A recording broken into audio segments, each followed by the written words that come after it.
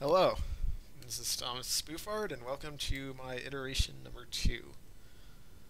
So, to start off with, we have the like instruction scene that we saw in the first one.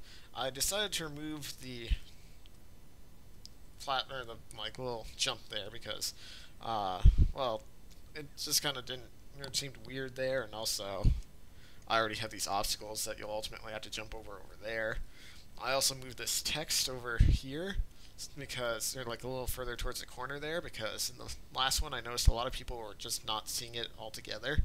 So I wanted it further over so that it would be more likely to be in their field of view. And getting here is the wall over here again. So yeah, this ultimately either they start playing with the thing or they had to jump over it. So that kind of allows it to be a less obnoxious, ugly thing anyway.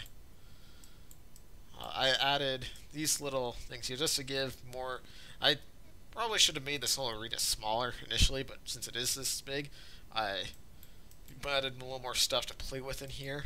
A little bit of like targets you can play at. Encourage you to start playing with aiming at things in the world. They're also not terribly hard to instead.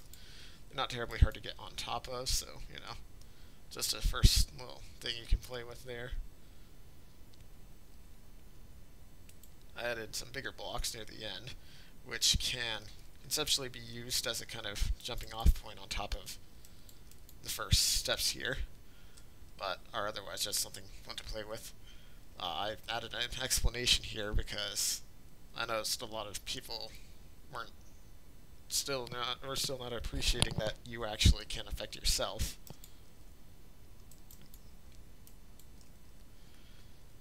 And as you can see, I did make it so that the stairs and things have their own unique textures.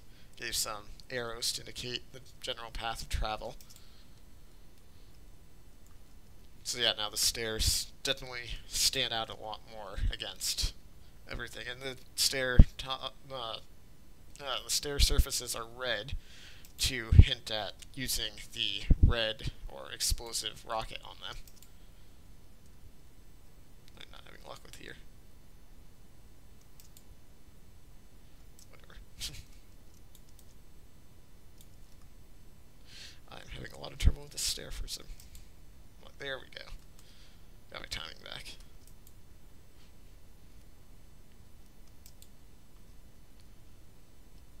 So I'm just going to pull up the rest of the stairs because we've seen. And I'm failing at that. Oh well.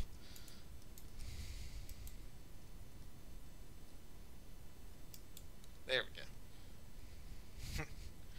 well, I made it up. So anyway, now you can see there's also obvious arrows to indicate which way is like the exit because the exit wasn't really particularly that visible with the colors that are.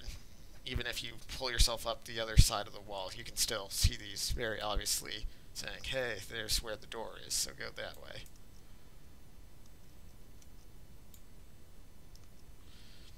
Uh, as you can see, the same kind of color system for in here, the obvious jump up there, and the red arrow along the wall there to show general movement of jumping up at an arced angle.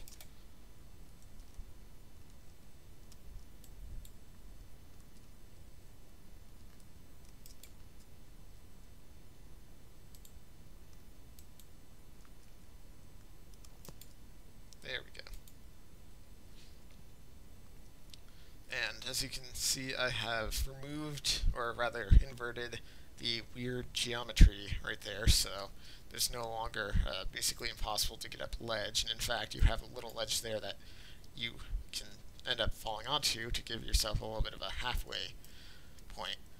Uh, one, and finally, when you get up here, the finish has actually been put in. I, I overshot it a little bit, but usually, as I've found, when you fly up and hit the wall there, you end up coming down right about on this finish point here. And as you can see, it's all the banana glory from the first iteration.